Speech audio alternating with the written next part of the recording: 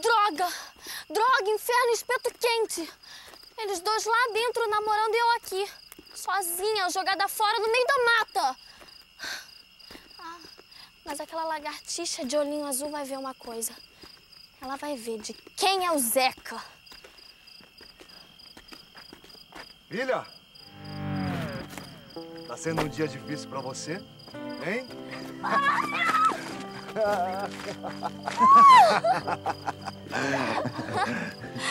Ô pai, a guerra já acabou? Você veio me buscar?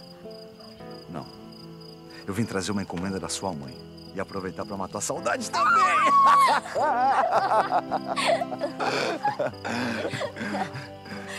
Olha, peraí. Coisinhas de mulher. Segundo ela, né? Ah, que bom, eu tava precisando mesmo. Agora eu preciso estar com todas as armas na mão, porque a guerra aqui também tá esquentando. Você não precisa de nada. Você é linda do jeito que é.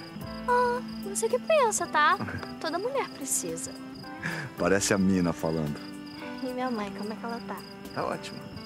Deslumbrante, como sempre. Hum, eu nunca vi você falar dela assim desse jeito antes. Vem cá, pai. Por que, que vocês dois não ficam juntos logo de uma vez? Esse é o casal mais lindo do mundo e do submundo. Hum, sua boba. Hum, eu tô falando sério, pai. Você não sabe que o sonho de filho de pais separados é ver eles dois juntos de novo? Então, eu preciso de uma família, poxa.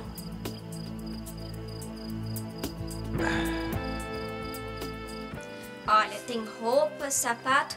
Ah, o cachorrinho do Juninho. Eu acho que agora ele vai demorar menos pra dormir. Isso, a lanterna, Gui. E diário? Ai, na praça de ir embora eu esqueci o meu melhor amigo. A tia Lívia mesmo é um amor. Né, Zeca? Você não vai mesmo com a cara do meu paizinho, né? Desculpe, Pandora, mas o Rodrigo já aprontou demais pra cima da minha mãe. Eu tô sempre de pé atrás com ele. Eu só engulo o Rodrigo porque. porque ele é seu pai. Jura? Que prova de amor linda, Zeca. Ai, Pandora, não, não é nada disso. Ih, tá bom, não precisa ficar nervoso. O meu pai vai acabar esquecendo a Lívia. E como é que você pode ter certeza disso? Intuição feminina. Você ainda tem muito que aprender com nós mulheres, José Carlos. Eu já ouvi isso hoje da Bia. Mulheres são todas iguais.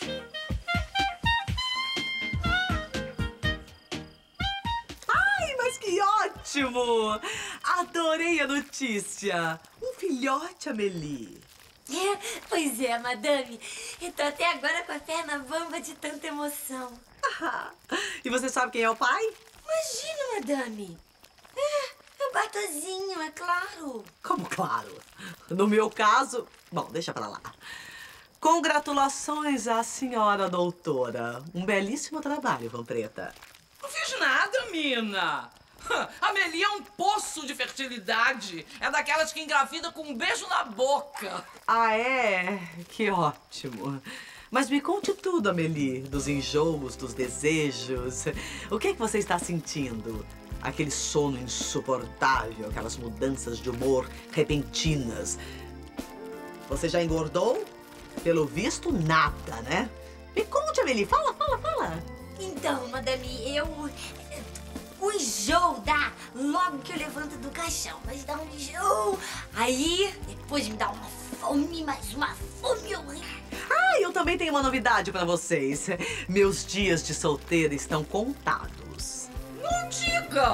Mas que péssimo, hein? Eu resolvi que vou reconquistar o meu bofe, Rodrigo. Achei que Pandorinha precisava realmente de uma família e eu também. Eu vou reconquistar o Rodrigo. Ou eu não me chamo Mina de Montmartre. Ai, cansei. Ponto final.